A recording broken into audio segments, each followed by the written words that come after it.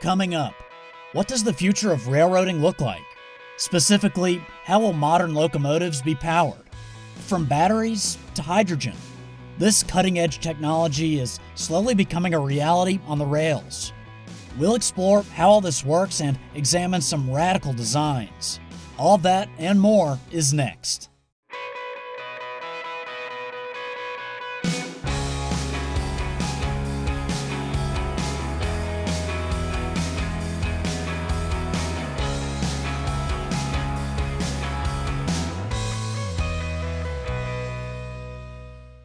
We'll begin with the railroad that's leading the charge when it comes to hydrogen fuel cell locomotives.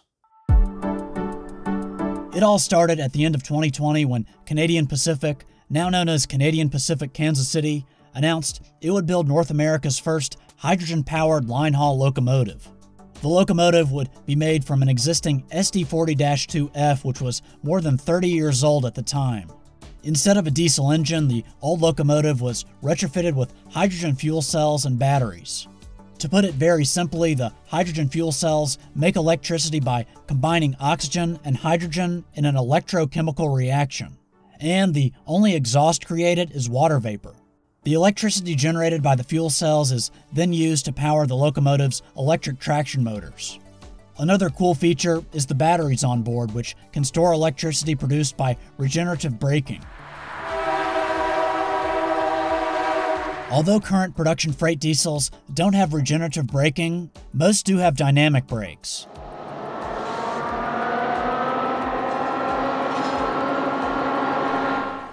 Here, the traction motors are basically turned into generators to slow the locomotive and the train down, but instead of capturing the electricity, it's burned off as heat. Of course, the locomotives you see on the rails today are powered by large diesel engines, and most of those engines are turbocharged to produce as much power as possible.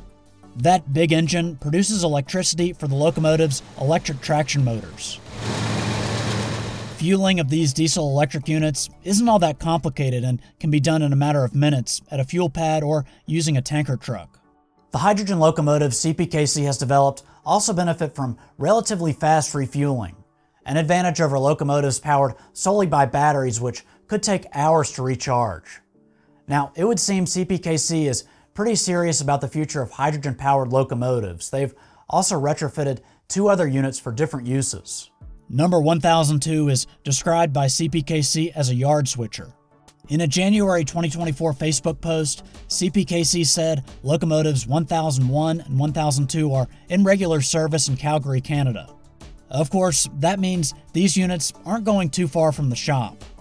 But number 1200 is a little different. It's a former GE AC 4400 CW and is designed for long distance, heavy haul freight. As you can see, the unit also features a 4-axle compressed hydrogen tender. And by the way, this footage shows number 1200 helping to haul a coal train on the main line. That milestone was achieved in September 2024, and a second test run was completed in October of that year.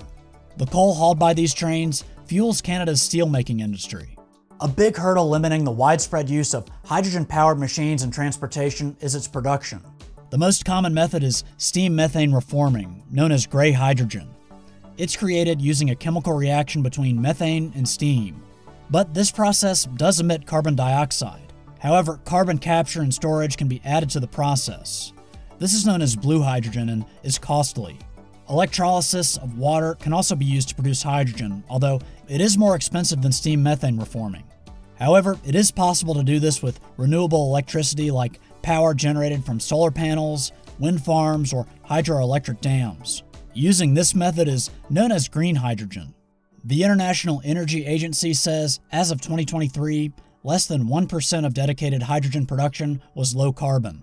For now, the locomotive CPKC has developed are getting their hydrogen from Canadian facilities in Calgary and Edmonton. Both use electrolysis, with the Calgary facility using solar panels to generate some of its power, while the Edmonton facility gets its electricity from the grid. So, what about safety? Well, when we think about hydrogen, this may come to mind. The crash of the Hindenburg in 1937 made hydrogen infamous. Of course, the craft wasn't powered by hydrogen. Instead, it used the gas for lift. No one has ever been able to agree on a cause of the crash, but it did show just how flammable hydrogen can be. It's also colorless, odorless, and tasteless. And if hydrogen ignites, the flames are nearly invisible. Fortunately, according to an article posted by Railway Age, CPKC's hydrogen units are well ventilated to allow hydrogen to escape if it leaks.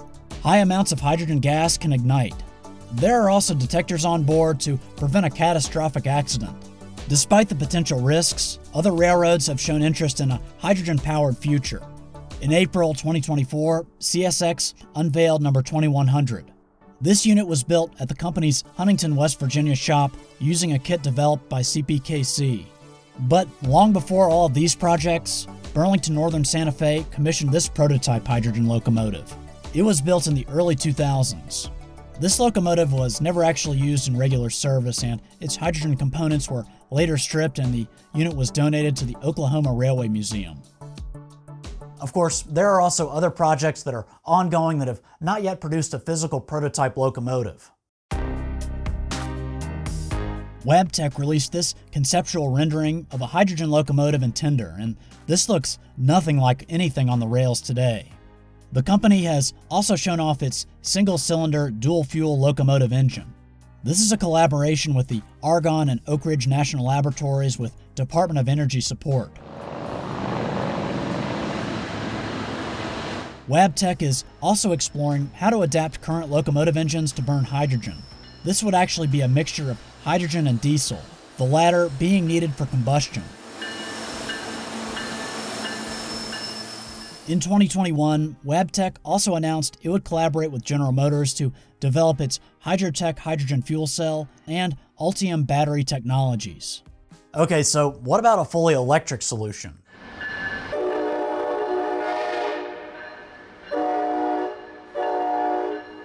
In the northeastern United States, powerful electric locomotives, all passenger trains, and electric multiple units are part of commuter rail fleets.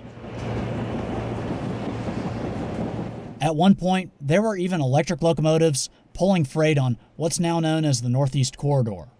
But to get this done in other parts of North America would require a very large investment in infrastructure to install the components needed. Just think about all the overhead catenary that makes up the Northeast Corridor. In 2019, Wabtec developed an alternative. They call it FLXdrive. It's a battery electric locomotive. Now, you may remember back in 2001, before Wabtec took over, GE developed a battery hybrid locomotive that could capture electricity from regenerative braking. However, this technology was never implemented into production locomotives. Wabtec says its newer FLXdrive concept supports stationary fast charging and regenerative brake charging, and future options will include charging while on the move. Internally, the locomotive features liquid cooled battery technology plus a thermal management system which is supposed to optimize battery life and energy output, according to Wabtec. Wabtec's competitor, Progress Rail, the owner of Electromotive Diesel, is also developing battery electric locomotives. They call this series of locomotives the Joule. EMD says these can be newly built units, or the technology can be outfitted to an existing platform. These units are also able to capture electricity from regenerative braking. This promotional brochure shows a wayside charging station that tops off the locomotive when it's stopped. As you can see, there are a few variants of the Joule. Some of these are smaller and intended for export markets where clearances are tighter. And honestly, with all these battery units being developed, Electromotive Diesel might want to consider changing its name. Now, this has been attempted before in North America. In 2009, Norfolk Southern rolled out number 999, a battery electric switcher. But according to a study done by the Federal Railroad Administration, this switcher wasn't economically viable. The lithium ion batteries it would need to perform to railroad standards were just too expensive.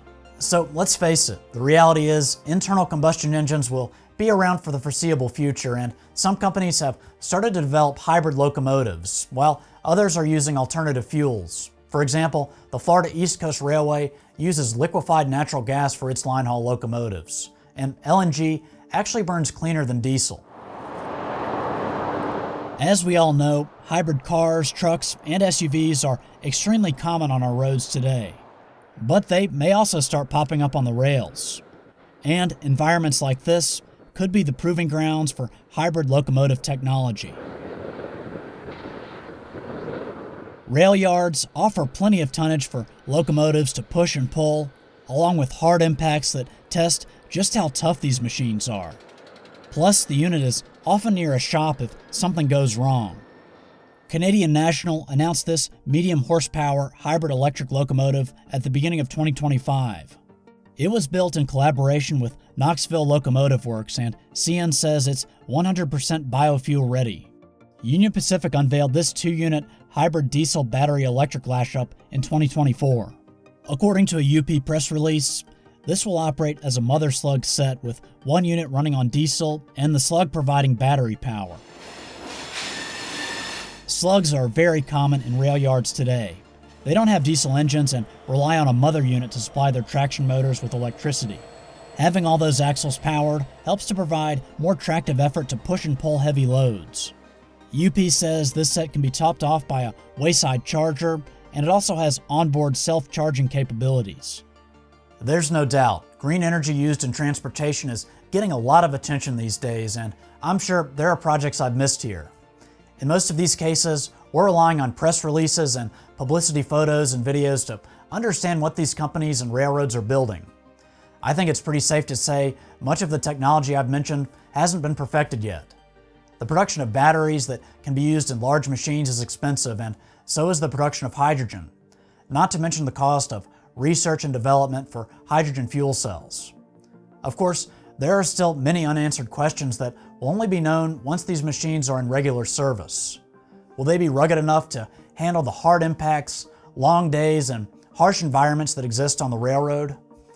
There's no doubt we'll be talking about this stuff for a long time to come. Anyway, that's it for now. Please consider subscribing if you haven't already.